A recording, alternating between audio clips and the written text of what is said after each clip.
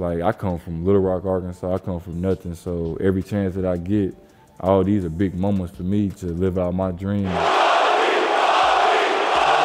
Just trying to ignite the crowd, ignite my teammates, and just let them know that we're hungry and we're here.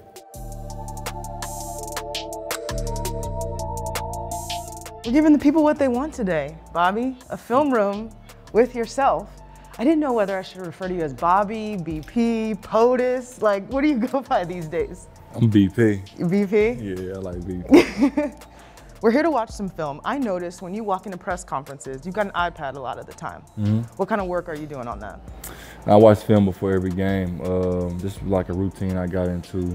Um, I watch our previous game um, on the same day of our game day. It just gives me something to do, um, you know, before the game, and it gets me mentally prepared um, to go out there and just try to, um, you know, try to be the best Bobby Portis I can out there on the floor for the basketball team. Um, it's fun too, and I've learned a lot more about myself and my game, and you know that's why my game has slowed down so much. So when we review some of these clips, you'll probably know all of them, right? Because you've watched it multiple times. Absolutely. We're gonna go through all the different facets of your game: offense, defense, hustle plays. We'll start with scoring though, okay. because you're at a career high right now, just over 15 points per game. This is that Orlando game where you had five threes in the first half. And we're gonna play back every single one of them and just see all the differences and where you were and when you got them. I know in the off season you worked to have your release be a little quicker, right? What were some of the drills that you were doing in order to, to help improve that area? Um, you know, catching shoots, um, going at my own tempo and own pace. Uh, watched a lot of film on, on, on the previous season, which was last season, and uh, sometimes I would hesitate to shoot, thinking that the guy's closing out and he's close, and most of the time they really wasn't. Um, they actually were just still running. So um, I would like watch the film on that and see that I can still take my time, but still get it off just a little bit tad quicker, and uh, it's been working so far this season. On a possession like this one, I believe that's Robin Lopez, right? Do you think last year you would have passed that up? Uh, right now I couldn't because of time, the, the shot clock going down. But uh, it depends. I probably would have tried to pump fake or get a one dribble pull up or something like that. But right now, shoot, I had already made a couple, and it, the, the ball's feeling good, and, and the goal is feeling even bigger. So shoot, it was just one of those times where you just gotta let it fly.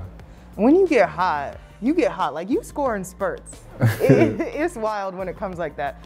For these threes that we just watched, what do you think that you were doing right when it came to your release, your feet, your form? Uh, most of the time, if I can catch the ball and seam the ball up and get the proper hand placements. Um, if you ever notice, I never really miss left and right. Um, I miss if I didn't get the ball in the air a lot and it's short, or uh, if I get it up in the air, it's probably gonna go in. I hate to say that though because it sounds like bad or cocky or something, but um, I, I, put a lot of time into my shot um, over the years, um, hundreds and hundreds of shots a day. And, um, you know, I know when it's going in as soon as it releases my hand because it's, it's the feel of the ball and how the, how the laces come off your fingertips. For sure. Okay, explain this left to right. This is exactly what you mean left to right, right? Moving side to side towards the ball rather than going kind of front to back. Right? So right here, uh, we kind of worked on this, this in the summertime um, with my trainer Marcus McCurl. Uh, just moving without the ball and uh, getting to a spot. Um, on this one, um, I knew we were trying to get two for one here because um, coach said um, um, every time coach says 33, that means we want to get it the shot off between you know 30 and 33, so we can get the ball back again um, with the 24 um, shot clock violation. So on this one, I threw it to George and just tried to get back out and, and shoot it. I tried to get to the four-point line, so when I step in, most of the time last year, I, it was like 20 or 30 some threes that I could have made that was counted as twos because my foot was on the line, and that's why we that's why we implemented the four-point line for me. So when I step in, I'm not on the line anymore. For those wondering, Bobby Portis has labeled it the four-point line just so he has an area where he can try to get to that's a couple feet behind the line so you make sure it's a three. What I find so interesting is you know, because of all the film study you do after the season and all that kind of stuff, mm -hmm. that you had like 22s that could have been threes. Like that's yeah. why it's so important to study yourself, right? Absolutely. Yeah, and, it, and it's cool to see it translate into games. Okay, so you hit all these threes and you're feeling. I love like the joy you have. I always say like every interview we do, you talk about how fun the game is. Yeah, you have fun. So. Like you can't take yourself too seriously. Okay, so this is the same game, and at this point, Orlando's like, okay, we know Bobby Portis is looking for a shot. You recognize that and take it to the rim. How does knocking down shots from the three-point line open up plays like this for you? Man, it opens up tremendously, especially playing with good players uh, like all the guys on the team are. Um, our when we get to our proper spacing, um, giving you know Giannis, Christian, Jrue driving lanes and stuff, um, those guys have so much attention on them that sometimes we're open and then the defense is trying to out, backside, whatever it is. Um, our best offense is in transition when we're running. Um, I ran to the corner on this one, um, knowing that if I sprinted and got to the spot and get open, um, Jrue's a great um, passer, so he'll hit me. And most of the time now, uh, guys run, they run at me, try to run me off the line, and it just opens up so many other elements of my game that I have, and it just unlocks it. We have another play on here that talks about you sprinting and getting rewarded. But what stands out to me is you said sprinting to my spot, and I know Coach Bud will have days where he just has you all sprint to the spots. Can you explain why it's so important to run in transition, not always to the rim, but to where you're supposed to be, whether it's, you know, the right side, the corner.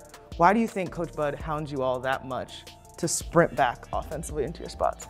Uh, because uh, when you sprint to your spots, it opens up, you know, driving lanes for, you know, like I said, Khris, and Jrue. I know with me, if I sprint the court, rim to rim, I might not get the basketball, but because I sprinted hard, um, it makes the bigs get back, and sometimes if it's not a big that's on me, a guard has to get back and take me until the big comes. And now here's Grayson trailing in for a three, or here's Khris backside for a three. So, um, or Pat, because Pat's always in with me, he's wide open. So, um, it's, it's, it's called sacrificing within a game, and it's uh, just called just you know being a um, being a great teammate and being there for your teammates. Sometimes the play is not for you.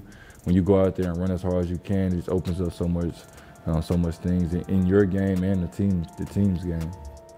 At this point, we've covered two of the three levels that we talk about in basketball, right? Three, mid-range, and now we're going back to the basket, Bobby Portis.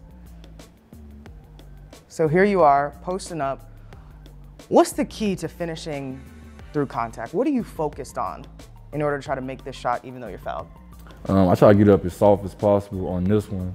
Uh, he tried to pull the chair and just tried to make me fall down, but um, tried to stay as balanced as possible. And I tried to actually kiss it just um, up front, but his force made me throw it off the glass. Um, didn't try to throw it off the glass right here, but it just happened like that. But just staying focused, uh, you know, locking in on it and just shooting it soft. That's what it is. Uh, trying to get an and-one, you know, the contact is going to be there. So trying to shoot it as soft as possible with a soft, high soft touch.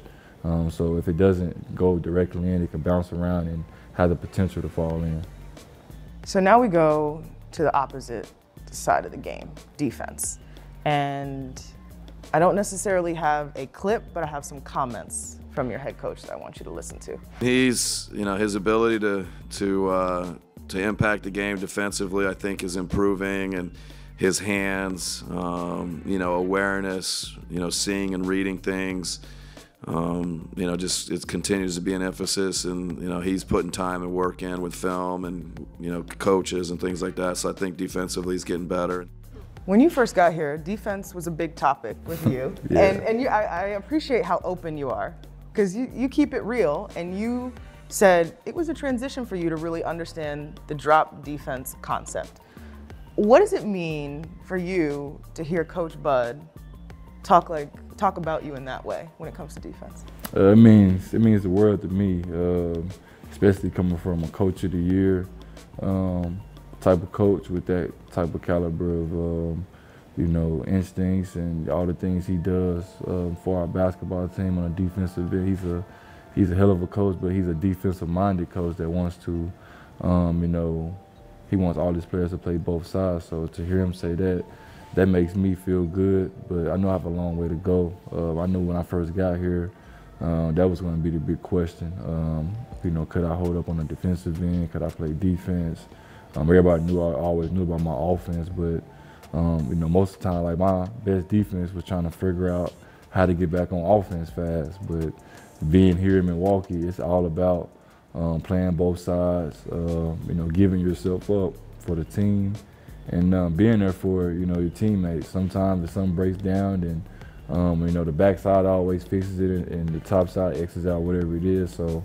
Um, being here has definitely made me buy in on that end, especially when you want to win meaningful games. You have to um, play defense. Like I think in the playoffs, I seen a stat where like we shot like one of the lowest three point percentages or something like that, and we won the entire thing. So um, you know that was all predicated towards defense, and um, you know watching film has, has gotten me better um, with the drop coverage. Uh, you know Brook is a he's a Brooklyn Bridge. He's big back there. I'm not as big as Brook is, so um, we just kind of you know change how I do mines up, being at the impact of the ball and trying to use my feet um, you know, more than my length. And I was going to bring that up, the fact that the coaches have allowed you to adjust to what works for you, especially with Brook being out an extended period of time. You're farther up, like you talked about. How nice is it to have that collaboration? Like, okay, yeah, like the Bucks are known for that drop defense, but this is what works for Bobby, and yeah. so we're gonna try to do this. It means good, man, because like for me to be out there, obviously it's tough um, in the drop defense when you're back. Uh, you know, for me because um, it's like two on one. Obviously, um, I'm not a big time, big time rim protector. I block shots, but I'm not uh, as, as rim protecting as Brook is. So he, he can cat and mouse both of them and get back to the big. They throw the lob, whatever it is. With me, I like to get steals in the passing lanes and things like that, and being up at the screen, being able to impact the ball, then get back to my man. Or if Giannis takes my man, then I love to X out on the backside and use my feet and stuff like that. So um, it's been cool um, to see. Um, you know, it's the progression in my defensive um, game, and it's been cool for just to have the the freedom and leeway to adjust to, you know, what works for me as well. The staple for you defensively, in my mind, this season is your rebounds. Rebounds. And I'm gonna keep bringing it up because I remember media day. You said I want to average a double double, right? Yeah. And you're super close to that at this point. yeah. Like that to have like a goal, that's gratifying, right? And I know you're always pushing further, but that's got to be awesome to see it. So we're gonna show just some classic BP rebound. And look, so they still box out in the NBA, right? This is yeah. proof. I mean, like with me, I'm not a big time athlete. I'm not gonna wow you with my athleticism. I'm not gonna wow you with how I can jump and dunk the ball. Um, I can run fast and beat my man down the court. That's an advantage for me. And the advantage for me is boxing my man out, just trying to put a body on him because nine times out of ten, he probably jumps harder than me. So I probably need to put a body on him just so I can just have a little bit more advantage than him. So you do just that, you get the rebound, but this is, we talked about running to your spot. You run right to the rim and you get rewarded. that was tough. that was the first thing that my mom and all my AAU coaches taught me how to do. That was my first, you know, attribute or, or I call it skill because playing hard and playing with energy is a skill uh, to me.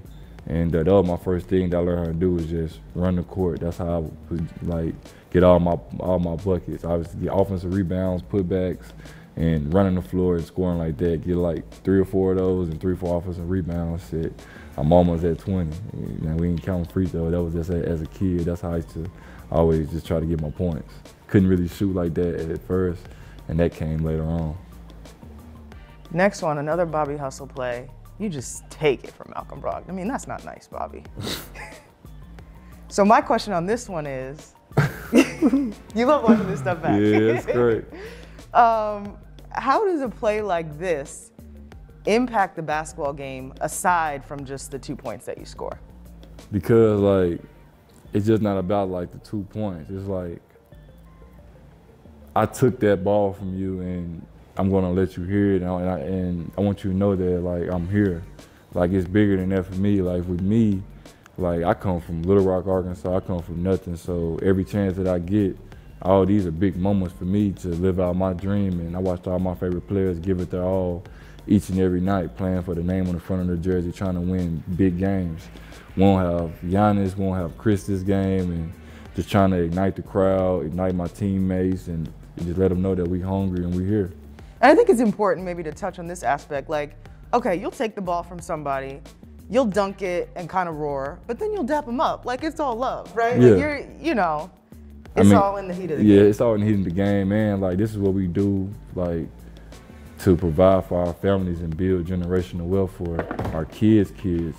So um, being able to uh, be in an NBA has been great for me.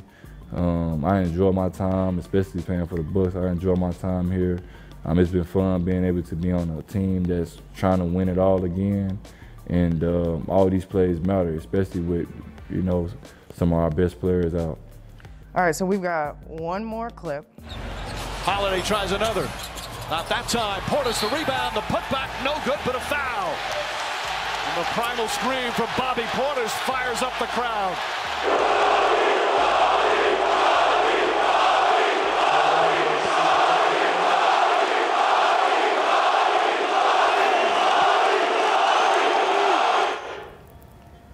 You get asked about it all the time, but Bobby, like I get chills listening to that. I just almost, got them too. Almost 20,000 people chanting your name. You talk about where you come from and your background. I would say a dream, but like I don't even know if you could even envision that, right? No, I ain't never really ever seen that happen. Um, man, just growing up as a kid, I was always had a dreams and aspirations of playing in the NBA, and I wanted it so bad, so much as a kid that you know, when we even lost basketball games, I would ask my mom, ask my, you know, my trainer and, you know, longtime friend and mentor, Marcus McCurl, like, how do I, like, how do I start winning? Like, when I'm gonna start winning? And I used to always get mad and angry because I wanted it so bad. And for me to be here in this moment, be in NBA Finals, um, you know, to hear 20,000 people 20, I mean, 20,000 fans cheering my name, saying Bobby, like that's, like I can't even put like those, I can't put that into like a, a description. Cause like I seen people on Instagram and things like when they play this, play this part or play this video, they always say like, what is he screaming for? He missed, he missed the, the, the and-one. But people don't really get it. Like I'm screaming because this is game three of the NBA finals. We're down two games. I just pumped y'all for this basketball. I want it more than you. And I'm gonna let you know that I want it more than you. So I'm, I'm, I'm not screaming because I, I missed it and whatever it is. I want it more than you. So it's in me to let you know that I want it. And I mean, that's just how I view the game, and that's just the game within the game. What does your mom, Miss Tina, think of the Bobby chants, people going out of their way to get a Bobby Portis jersey, underdog gear. Like, what is, I know you get asked what you think, but what does your mom think? I think my mom's just extremely proud of me. Um, just, you know, I don't have kids or none of that, so I don't know how it feels to watch your son or daughter grow up um, yet. So um, I, I, can I can't fathom what that feels like for her. Uh, but just seeing my mom every day, um, you know, talking to her and seeing her in person, um, I know she's proud of me, and I know that she know how far I've came just in my short time in NBA in seven years. Um, she know like how it was and what how much hard work I put in to get to this point, and uh, it was kind of refreshing. I know for my mom for sure. She seen me down, um, but she see me just never give up. Um, so um, I never see my mom give up. So having um, you know her as a someone I looked up to dearly, somebody that always had my back and always had my best interests and gave it her all, even when times was tough. Um, I think she's she's really proud of me, and I know she got probably got chills too when she heard it too. So for sure, it's definitely one of those feelings that's one of those feelings I have for forever. Just having my mom there NBA Finals. Uh, watched all my favorite players. I, I, used to watch the finals with my mom sitting down, like watching LeBron and D Wade. Like my mom was a big time D Wade fan. Like she loved Dwyane Wade. So being able to be in the finals, my mom be there, um, and for us to come back and win it, like that's one of those feelings I have forever. Like I'll never forget my mom walking onto the court like crying. Like that's that's that's like you can't even put like can't even put that into into like words, man. It's it's it's a it's a blessed feeling. And a couple days later, they were all on that parade bus. The Bobby Portis crew was in full effect. Ah, uh, yeah, we was there. we was loud and deep, man. It, it, was cool just to have your family members there, your friends, yep. all the people I grew up with. Like these are my close friends. Like I don't have a, a, lot of friends. Like everybody that comes around me are like somebody that I grew up with from second, third, fourth grade. So to have like the people that known me since we was kids, like that's one of the best feelings ever for me. Like growing up with all my friends, having my same friends that I've been friends with for almost 15, 16 years, like that's that's that's unreal. That's a blessing for sure. You have had an incredible run so far. Just I'm just talking about this season. A lot of games to go. You're a guy that analyzes your own game. So what's something you want to focus on the second half of the season? Um, something I want to focus on in the second half of the season is um, hopefully coach can let me uh, start switching on to guards a little bit more, knowing that in the playoffs we're going to change our schemes up, and I want to be out there to help the team win. So, um, you know, you have to give guys different looks. I probably can't be in the in the um, in the high drop the entire game, so I'm gonna have to start switching a little bit more. So that's probably one of the biggest things I want to key on and focus on, just um, getting conditioned for that mentally and physically. Um, but offense and like offense always come and go, but um, nowadays, I try to just hang my hat on just the defensive end because defense is going to keep you in games, going to help you win championships, and um, try and be one of those teams that go back to back. Um, it's not going to be easy, so um, it's going to take all of us and all our defensive tactics. Sandwich technique here. So, what has you proud about the way you've played so far this season? What has me proud? Mm-hmm. Uh, so um, every year I try to make a sacrifice with something. So um, so one thing I really sacrifice, like I'm not so like I um, I I drink alcohol, so I might get a drink to go out go out to like eat or something like that or some but I haven't had a a, a cup of alcohol since September.